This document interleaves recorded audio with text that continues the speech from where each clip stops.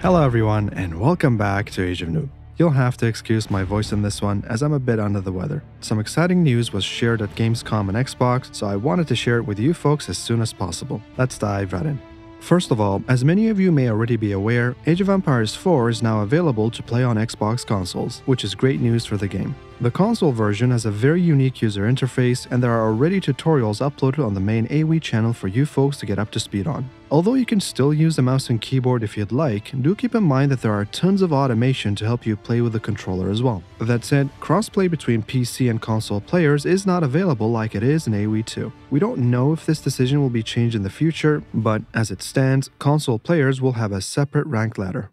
Aside from the console release, the big news was dropped today, and it's a brand new expansion called the Sultans Ascend, which was dubbed as the biggest expansion yet for Age of Empires 4. I've upscaled every single screenshot that was released on the Steam page so we can take a closer look. Let's begin with the splash art first. Given the name of the expansion, the confirmed setting in the Middle East, and the Crusader Knight in the splash art, it's safe to assume that some, if not all, of the campaigns will be based on the Holy Crusades, and more on that in the upcoming screenshots. The first is a rather uncharacteristic image of a Middle Eastern man in a Middle Eastern building. It doesn't look like any of the art released in game at all, so I'm not sure if this is just marketing material or will be used in game for the campaigns. Apart from this, nothing more to speculate here really. The second image, on the other hand, is an interesting one.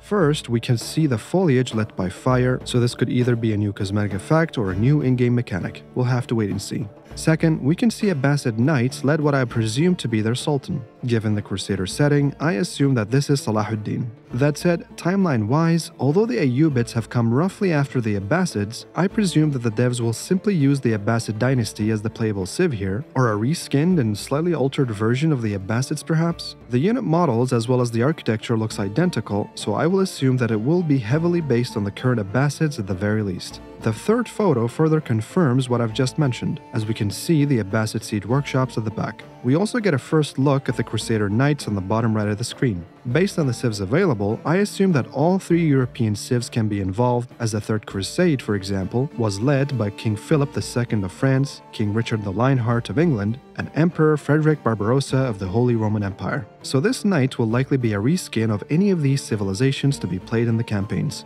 The fourth image confirms the Franks as aforementioned, and the fifth image confirms the Holy Roman Empire as well. We can also see some new unit skins as they are equipped with darker armor and shields. The final image doesn't really fit with the theme of the expansion at all, as this image likely confirms the Japanese to be added as a brand new civilization. This is a very safe assumption to make given that these are brand new unit models, brand new architecture, and what seems like the Japanese male variant, and tons of pink foliage that is reminiscent of sakura trees from Japan. We could still get a campaign between the Japanese and the Chinese perhaps, but given the name of the expansion and the setting in the Middle East, my best guess is that the Japanese will be added as a new playable civilization, while the new campaigns will likely involve the Abbasids, Franks, English, and the Holy Roman Empire instead. All that said, there is still some speculation that the Byzantines might be added here, given the naming of the Sultans Ascend fitting here as well. Since the Ottomans already exist in the game, we could also speculate that there could be an Ottoman Byzantine campaign also added. It would also make sense to add the Japanese and Byzantines as two fan favorite civilizations in one go, rather than just adding only one new civ. However, since we don't really see any Ottoman or Byzantine looking units in the screenshots at all, it's tough to confirm any of this yet.